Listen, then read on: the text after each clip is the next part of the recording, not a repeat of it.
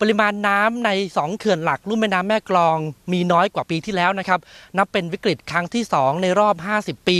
กรมชลประทานต้องขอร้องเกษตรกรบริเวณนี้ และก็ในพื้นที่กรมชลประทานแถบนี้ ในลุ่มแม่น้ำแม่กลองว่า ขอให้ผันไปปลูกพืชน้ำน้อย แล้วก็งดการเลี้ยงปลาเลี้ยงกุ้งลงนะครับเพื่อที่จะลดผลกระทบ จากภาวะขาดแคลนน้ำแล้วก็สำรองน้ำไว้เพื่อช่วยลุ่มแม่น้ำเจ้าพระยา ในการผลิตน้ำประปาครับ ที่ประชุมสถานการณ์น้ำเนื่องจากวิกฤตภัยแล้ง 2559 ลุ่มแม่น้ำแม่กลองที่สำนักงานชนรประทานที่ 13 จังหวัดกาญจนบุรี มีกองบัญชาการทหารราบ การไฟฟ้าฝ่ายผลิตแห่งประเทศไทย การประปานครหลวง และการประปาส่วนภูมิภาคเข้าร่วม แผนภาพกราฟระดับน้ำใน 2 เขื่อนหลักลุ่มแม่น้ำแม่กลองเปรียบเทียบปริมาณน้ำในเขื่อนที่น้อยกว่าปีที่แล้วครับ นายนรงลีนานนท์รองอธิบดีกรมชลประทานบอกว่า สถานการณ์ภัยแล้งของรุ่มแม่น้ำแม่กลองครั้งนี้ นับเป็นวิกฤตครั้งที่ 2 ในรอบ 50 ปี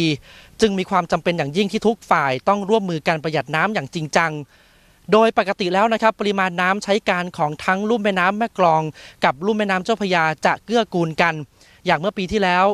ก็ได้น้ำจากลุ่มแม่น้ำแม่กลองมาช่วยลุ่มแม่น้ำเจ้าพระยาในการผลิตน้ำประปาที่กรุงเทพ แต่ว่าปัจจุบันทั้งสองลุ่มน้ำมีน้ำน้อยด้วยกันทั้งคู่ครับเนี่ยนะก็จะเน้นในมาตรการการใช้น้ำอย่างมีประสิทธิภาพสูงสุดอะนะครับ ซึ่งในการรณรงค์ในเรื่องการประหยัดน้ำเนี่ยอ่ามันก็ต้องช่วยกันทุกภาคส่วนนะครับ ในภาครัฐเองก็อ่าจะต้องมีอ่าตัวชี้วัดที่ชัดเจนนะครับ ว่าเราก็ต้องใช้น้ำลดลงกันหมดเอ่อกำลังของเราเข้าไป ลาดตระเวนเข้าไปเฝ้าตรวจเข้าไปดูแลตรงนั้นแล้วก็พยายามแนะนำท่านผู้นำท้องถิ่นโดยเฉพาะกำนันผู้ใหญ่บ้าน ให้เข้าใจถึงความจำเป็น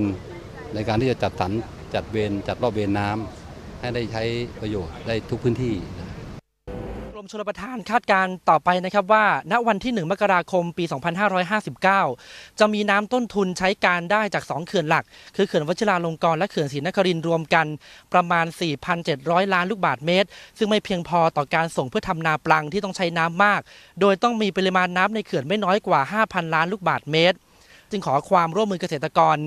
ให้ปรับเปลี่ยนจากการทำนามาเป็นการปลูกพืชน้ำน้อย และงดการทำบ่อปลาบ่อกุ้งครับ สำหรับแผนจัดสรรน้ำต้นทุนในลุ่มแม่น้ำแม่กลองประมาณ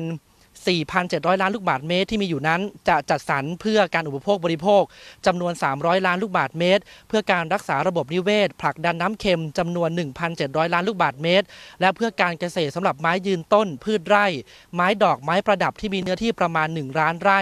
อีกจำนวน 950 ล้านลูกบาศก์เมตร ที่เหลือจะสำรองไว้สำหรับการทำนาปี ในช่วงต้นฤดูฝนอีกประมาณ 1,750 ล้านลูกบาศก์เมตร โดยแผนดังกล่าวจะเริ่มตั้งแต่วันที่ 1 มกราคม ถึง 30 มิถุนายนปีหน้านะครับสำหรับจังหวัดที่อยู่ในลุ่มแม่น้ำแม่กลองได้แก่จังหวัดกาญจนบุรี ราชบุรี นครปฐมและสมุทรสงคราม มีพื้นที่ชลประทานทั้งหมด2ล้าน 3 แสนไร่ พื้นที่ร้อยละ 40 ปลูกข้าว รองลงมาเป็นอ้อยผลไม้ บ่อเลี้ยงปลาและกุ้งตามลำดับครับ และนี่ก็คือบรรยากาศที่เขื่อนแม่กลองอยู่ในขณะนี้นะครับเขื่อนแม่กลองนั้นทำหน้าที่คล้ายๆ กับเขื่อนเจ้าพยา